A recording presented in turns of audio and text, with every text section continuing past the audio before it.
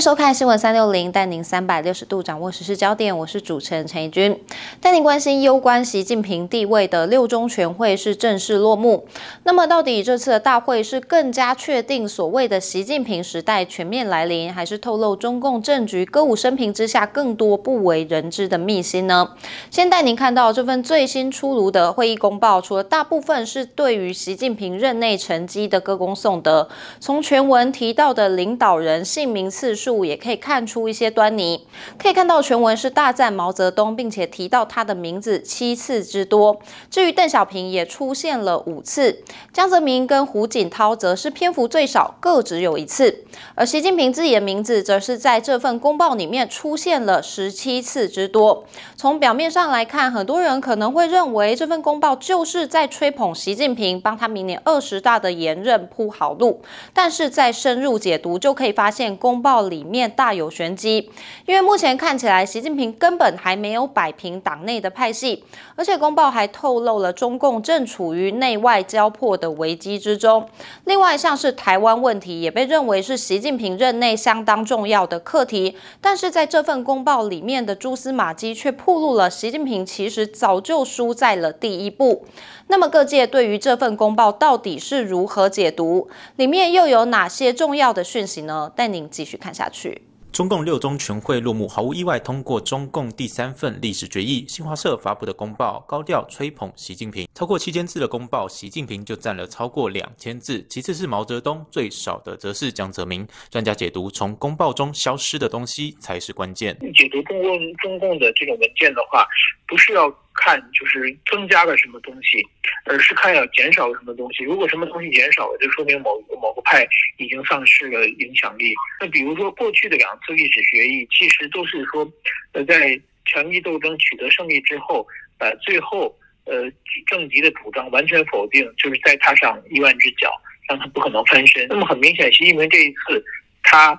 呃，只说好的，没有没有批评否定呃前面的路线。那么很显然，习近平他要搞这个历史学艺的时候，他的想法一定不是这样，而是在否定亲美的邓小平的改革路改革开放路线嘛。但是说在党内的各种各样各种势力的这种最后的整合之下，最后弄出来一个东西，也根本不是习近平想要的，说明所以习近平这次是一次他不小的一次挫败。所以说今后。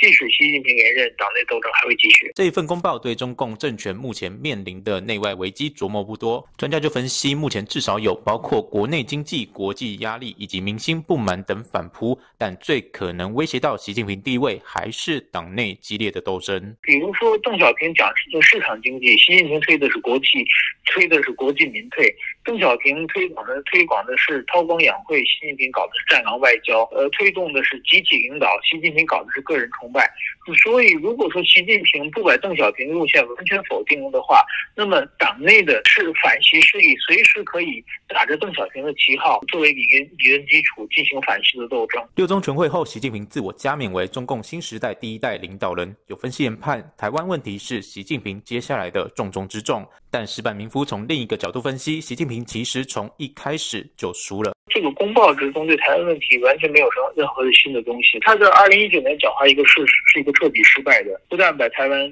造就了蔡英文的八百一十七万票，而且把全世界的这种这个造成全世界的挺台的这么一个大的国际社会的浪潮。所以这个是完全失败的。但是说他也没有拿出什么新的东西，只能再接受这种失败了。党内酝酿反扑，国际加大制裁，六中全会之后，习近平全力迈向言论。但恐怕还有许多关卡。记者陈伟忠采访报道。深入解读六中全会公报，不止各界看法两极，现在还传出习近平自吹自擂政绩，目的就是为了要超越中国历届的领导人，奠定史无前例的历史地位，甚至还想要成为整个宇宙的大统领。除了这份耐人寻味的公报，中共党史上第三份历史决议文件也跟着出炉。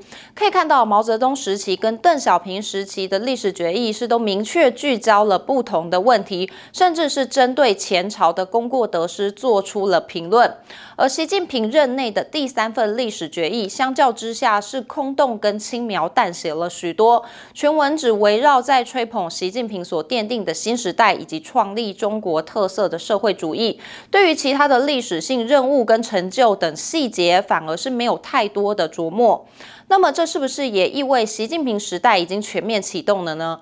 国内的学者就分析，其实这一切很有可能是中国为了顾及明年二月的冬奥，来刻意塑造的大国形象。关键的时间点是在于冬奥之后到二十大这个期间，也就是说，习近平是否真如这份公报所说的，能够摆平国内外的危机跟党内的派系声音，真正奠定所谓的习王朝，目前仍然是充满变数。如果您对这个议题有什么想法，欢迎在底下留言告诉我们。新闻三六零，下次再会。等一下，先别急着关掉，提醒您记得按赞、订阅、开启小铃铛，锁定更多新闻议题。